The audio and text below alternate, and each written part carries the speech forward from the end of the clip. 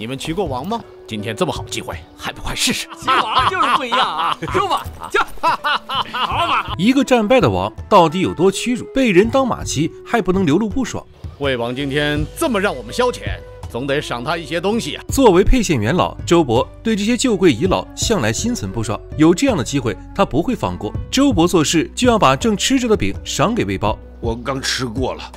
饿魏豹嘴上说着不饿，手还是老老实实的伸了出去。可结果饼掉到了地上，耳旁周勃的嘲讽尖锐的刺痛了魏豹这颗混饿的脑子。魏王是吃山珍海味的肚子，怎么能吃我们乡下人的东西呢？那一瞬间，种种委屈涌上了魏豹的心头。他只是蹲在地上，想要把饼捡起来，以为这样就会抓住王的尊严。而伯姬在一旁看着心疼，丢了他，怪可惜的。画面一转，汉王宫中，魏豹跪在当中，朗声说道：“大王的恩典，臣时刻牢记在心，每日起颂大王的恩德。”刘邦这会儿还一头的问号呢，就听见魏豹：“我有忠心一片，再也不会背叛大王。若有反心的话，碎尸万段。”刘邦他饶有兴趣的看着这位老贵族，正儿八经的大魏正黄旗，生怕他整出来一句：“您一个臭沛县的混混，来跑到我们魏家地界儿来要饭了。”连魏地都是我的了，你还有什么呀？魏豹心一横，我有我的女人，请汉王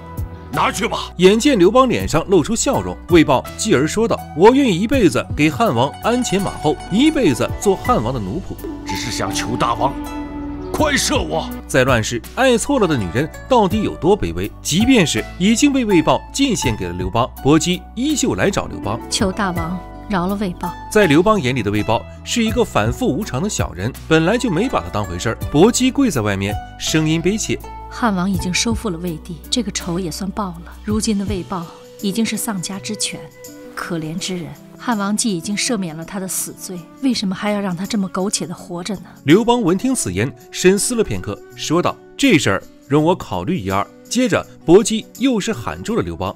臣妾已无处可去，求大王让我留在宫中。刘邦颇为好奇的仔细看着伯姬，伯姬只是说做牛做马都可以，我这里不需要牛，也不需要马。接着，他仔细端详着伯姬的脸，跟夏侯婴就下达了命令，给他安顿下来。诺。一扭头，刘邦就问起了该如何处理魏豹，而张良的一句话则让刘邦陷入了沉思。大王，你还记得勾践夫差吗？处理完了魏豹，沛县集团针对关中开了个小会。一开场啊，刘邦同志就有话说了：“韩信又找我要兵了。”萧何已尽力征召，不知能否满足韩信大将军催兵的要求。刘邦的神情显然是绷不住了。从蜀中起家的刘邦才多少家底儿啊？汉中从秦末打到现在，人口凋敝。这个孤悬在外的第二战线，考验的是互相的信任，还有就是韩信到底会不会拥兵自立？如果韩将军得不到兵源，对整个大局不利，甚至会影响他对汉王的情谊。张良的话说的真切。刘邦沉吟了片刻，这子。我不光给他兵，我还要给他王。韩信大将军很不高兴，自己自打得了个便宜谋士蒯彻后，发现这个老小子属于是把自己当长期饭票了。一进帐，好家伙呀，好大的一股子酒味儿，又搁这儿喝上了。眼见自己的饭票不高兴了，蒯彻心说：“你这不是逼我给你露一手吗？要不再来打个赌？要是我赌赢了，你以后可得允许我在你大帐里喝酒。”韩信是白了蒯彻一眼，心说。这老小子屎壳郎戴面具，臭不要脸！赌什么呀？会给你派兵，还会让张耳跟你一起作战。你要是有二心呢，张耳就会杀了你的头。闻言，韩信调转了目光，一脸不可置信地看着蒯车。画面一转呢，中山王张耳就来了，来就来了，还带了三万兵马。韩信正开心呢，就听见张耳就钥匙插屁股开始了：“汉王命我和你一起统领这些兵马。”张耳既然到了您的帐下，便不再是王，而是您的兵。韩信一边听，是一边觉得耳熟啊。他是一扭脸就返回了大帐。蒯彻一见他，就笑个没完。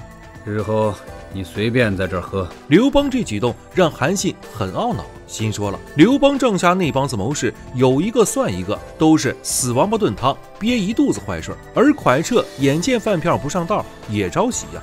汉王派常山王来做监军，就说明。汉王既看重将军，又忌惮将军。韩信大将军对于蒯彻的话是直挠头皮。那么欲知后事如何，欢迎继续关注东乐剧院，我们下期再见。